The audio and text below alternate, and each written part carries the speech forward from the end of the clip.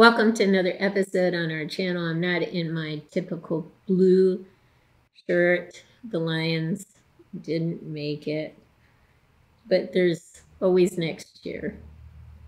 Mm, so close. Anyway, we're um, we're doing this figure again. You've seen Geralt of Rivia before, aka The Witcher, performed by Henry Cavill. Uh, that came out in 2019. He is leaving the series. He will be replaced by Liam Hemsworth. But I really like his character. I also love Yennefer, who's in the series, and I think I've figured out how I'm going to do her to replicate her.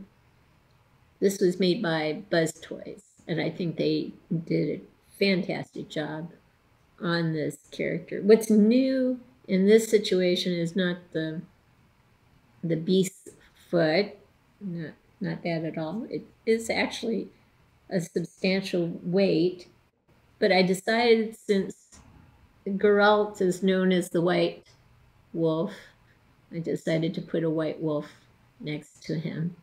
This is either JXK Studios Mr. Z or something else. I think it's one of those two, though, in the sense that it weighs a ton and seems to be very well made. So it is a white wolf. So it's fitting. So we'll pause now and get him on a turn tray so we can see him from different angles along with the white wolf and then get some tighter close-ups of Geralt. We are back, and here is Geralt again, made by Buzz Toys. I think they did a fantastic job, not only with the outfit, but what appears to be a studded shirt and bracers. Very nicely done. He came with two swords. I happen to like this one the best. He also had kind of like a, a leather enclosement thing that he could put on his shoulder where you could put one of the swords in or both the swords in. I, I like to keep things simple. And of course this this part of the foot of a beast.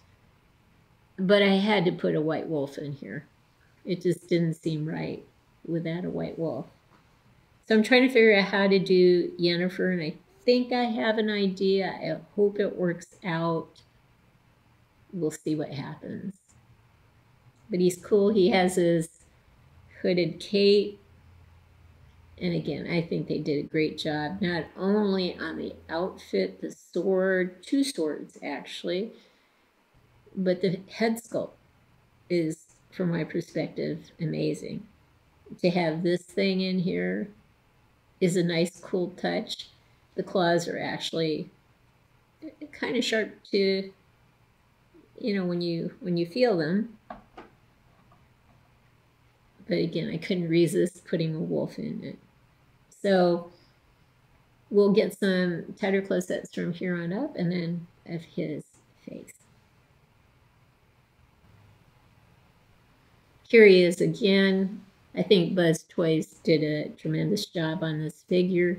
I really like the sword and the the design to the sword. It's it's cold to the touch, some sort of metal alloy has been used.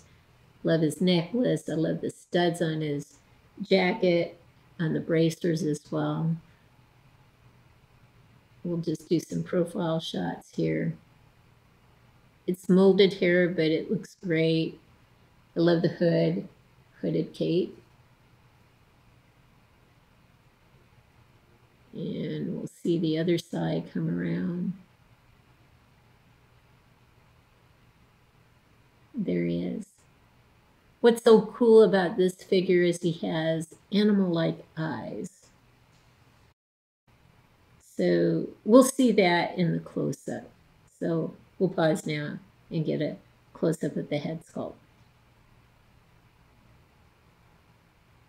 This is a wonderful close-up of his face.